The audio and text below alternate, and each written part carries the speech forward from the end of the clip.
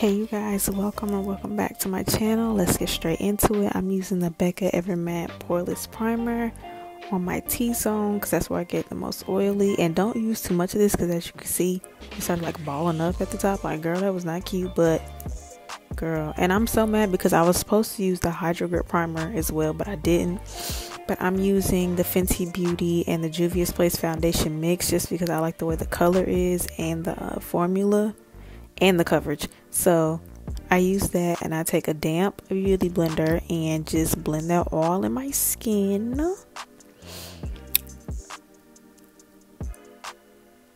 You see how pretty that is? Like, and I've noticed that I match my um, foundation. I try to match it to like my chest because I've no, my face is a lot darker. You know what I mean? Like it's darker.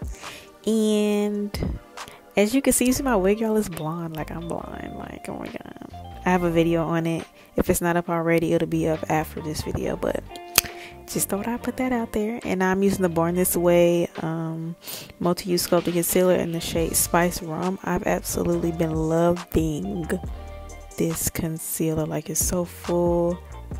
The doe foot applicator is so big, so it fits like just all that surface area under your eye. And I think it's a really good color for me. I use it to highlight, but not too much is very full coverage. I definitely think y'all should go check this concealer out because I love it. So I'm just putting that, you know, the usual places under my eyes, forehead, nose, chin.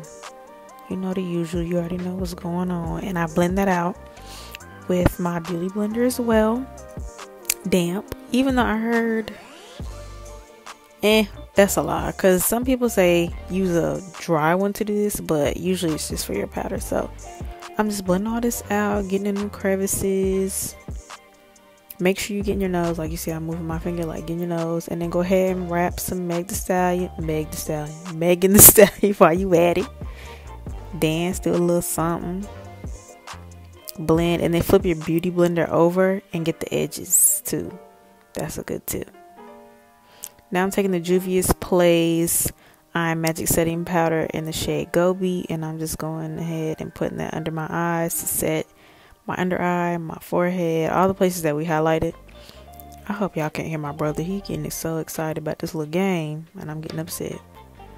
But I just like the shade of this because I am a Laura Mercier stand, but this one's cheaper. It's only $12 and I like the shade of it. So I'm going to continue to use it and now I am using the MAC Studio Fix powder in the shade NW43 and I'm gonna go ahead and put that in the same places. It just gives me like a very flawless finish and I absolutely love it. And I'm using a Real Techniques brush to go ahead and apply this to. And I just pat pat pat under my eye just press it in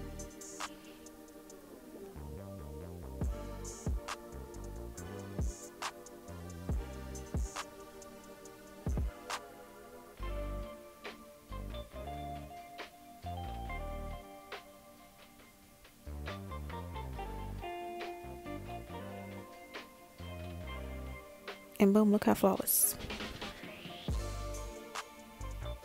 And now I'm over here debating on if I wanted to do my bronzer first or put on this Sephora Micro Smooth powder.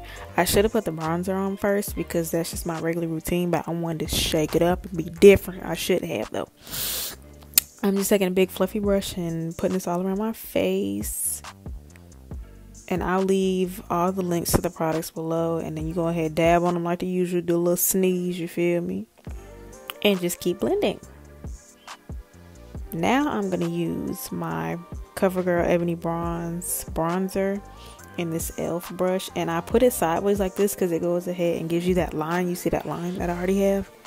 Um so I don't have to put like concealer or powder underneath underneath underneath it. I just go ahead and do that. I'm sorry y'all. I'm tired. I'm so tired, but I wanted to go ahead and you know film this video for you guys and get it edited and everything ready to go. So next I'm using the Becca Champagne Pop highlighter. This is absolutely one of my favorites. I haven't used it in a while, but I really do like it. Most people say like, "Oh, it's too light for dark skin. It's too silvery. You're gonna like ashy." Girl, no, I don't. No, I don't. Shut up. because anything can work on dark skin. You just can't put too much, and because you'll look like a disco ball. Just don't do that. And then blend it out with either brush. I'm using my beauty blender, and girl, you'll be fine. You'll be fine. So now I'm gonna get to these brows. I think, yeah, I'm using the ABH brow wiz. Yeah, the brow wiz. Um, and it's in the shade ebony. I think I never really get my brows on camera. I don't really be caring about my brows, y'all. I'm not gonna lie. I don't be caring. I just, cause I don't have any, so I just go ahead and just do what I can. Sometimes I'll clean them up, sometimes I won't. I don't think I did in this video though. I don't think. I don't remember. But now I'm using the Morphe and Jaclyn Hill Ring the Alarm palette. I'm taking this shade. I think it's like an orangey shade and I'm blending it. And then I noticed I was like, okay, girl, well, it's not showing up because you didn't put your base on. So then I'm just going to use the uh, MAC Pro Longwear Concealer in the shade NC45. Is my camera cut off? But don't be mad. So now I'm just taking on camera and putting that straight in the middle. I just use the brown for the sides and just I'm doing a halo. So I'm so mad my camera cut off, but it's okay. We still got, you know, we got to move on. Move on. So I'm putting that straight in the middle. I'm giving you Jackie Aina tees with the halo eye. You feel me? Girl, who do I think I ain't? I'm like Slick Daddy Rick. Like, girl, you doing all this stuff, all this rapping and all these motions. Girl, get to the makeup. That's why it take you so long in the first place. But anyway, I'm just blending that out. Um, and I like the shade that I use. Like I said, I'll leave it down below. But I kind of wanted to, you know, try something different. So I just, you know, kept adding. I kept playing with the shimmer colors in there, blending that with the brown. As you can see, I used too much right there, but it's okay. So I just keep messing with it, blending until I get my desired look. See, like I'm going into Lolly and kind of putting that on, but it didn't really do much of a difference. So then I used the other one. And in the end, it really didn't look that much different, but you know, I tried. I really did.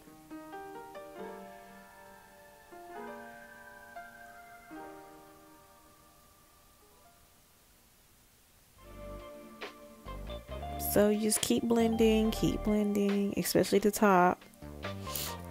Now I'm using my NYC liquid eyeliner. I absolutely love this eyeliner, but it's been a while since I've used eyeliner in the first place. But I figure since this look is low key, it's not super dramatic, but I don't think it would have looked right without liner. So I'm just showing you my wing.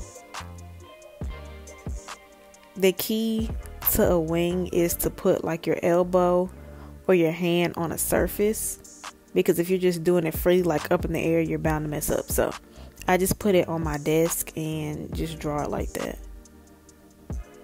And I think I did pretty good for, you know, considering that it's been a while. And now I'm wigging, you feel me?